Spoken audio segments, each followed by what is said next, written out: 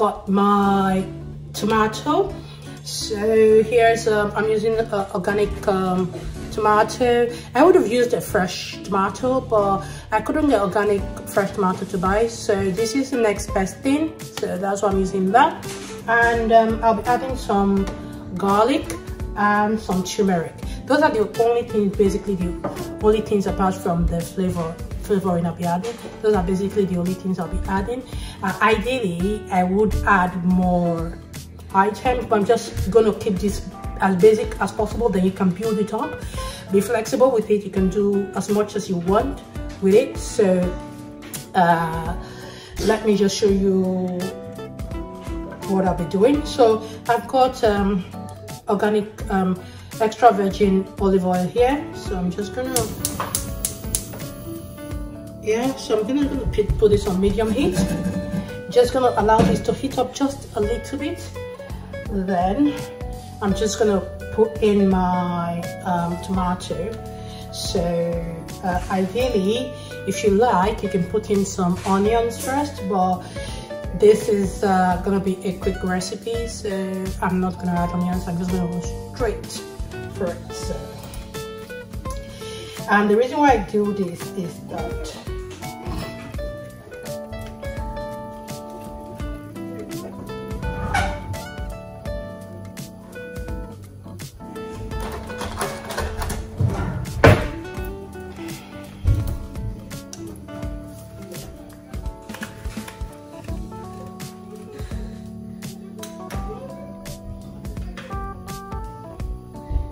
So here, so I'm just gonna pour this. So this is the tomato passata I'm using. So I usually make this, I don't use all of it for one pizza base. I put the rest in the freezer and I use it as needed. So here I'm just gonna go straight ahead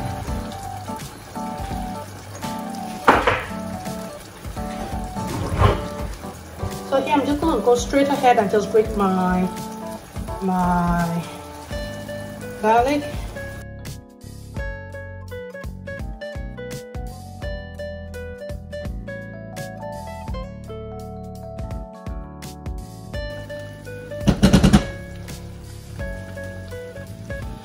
I was gonna put two cloves of garlic, but I'll just leave it as one because I don't want it to be overpowering because my little girl is also having this. So I'll leave it as one just to keep it simple and basic. But at least I've got my garlic there, so that's good. So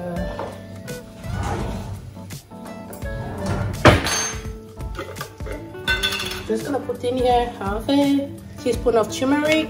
If you've not yet watched my turmeric video, I'll leave the just check the the eye, just click on the eye on the top of the video and to take you there. So that should take you to how I make my turmeric. So this is my turmeric paste. It comes in handy. So I'm not using a lot. I'm using half a teaspoon of turmeric. Right.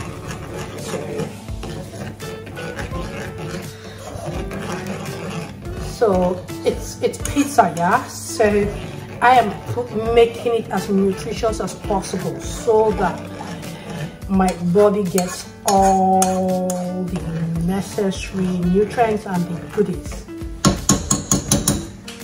So we're just gonna press that a little. So I'm just gonna cover this up and I just let it bubble away for about another 20 30 minutes on low heat. So it's all I'm gonna be simmering it basically.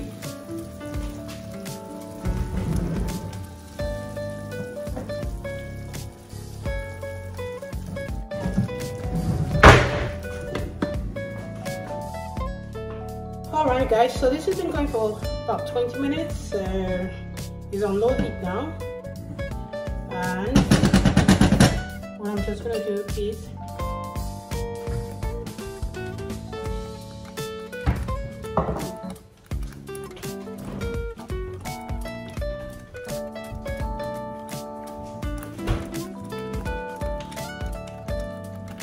So here, I'm just gonna add a little bit of coconut amino. Bit of coconut amino.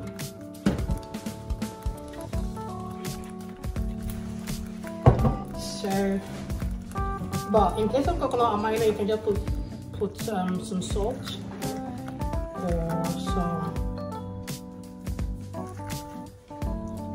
some in place of this you can just put some tamari sauce. Tamari sauce will work um, soy sauce also work this is just to flavor it to put some flavor in it this is so this splashes a lot so you have to be really careful so i'm going to add some dry herbs just some dry herbs here you can put use fresh herbs whatever. Just use whatever you like, that's fine. So I'm just giving this a stir. If you're not using tamari sauce or soy sauce, you can just add some salt. But because I already used tamari sauce, I'm not gonna uh, because I already used coconut amino, I'm not gonna add anything here. So coconut amino is a very good alternative because usually I will use Maggi cube, but coconut amino is a very good alternative, although a bit pricey, but this is organic coconut amino, really good so that's what I use to add some flavor to my cooking so I'll leave this now. For another 10 minutes then I'll turn it off. So I'll just turn the heat off and allow it to cool down. And after that I can use it for my pizza topping. So that's just basically it. So I'll come back to show you when it's done and when it's cooked. Okay, so guys, there it is. So I've just turned this off now and you can see, show you what the consistency looks like. You just use a teaspoon so you have an idea.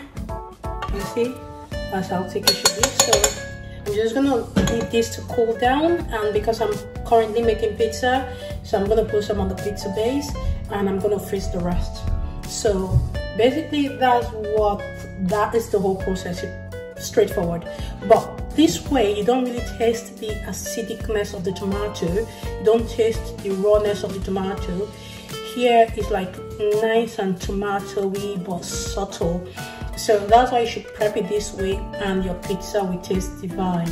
So i hope you've enjoyed this video. Don't forget to give it a thumbs up. Subscribe to the channel. Click on the notification button so you get not notified or updated every time we add a new video. Thank you very much for watching. Have a lovely day. Bye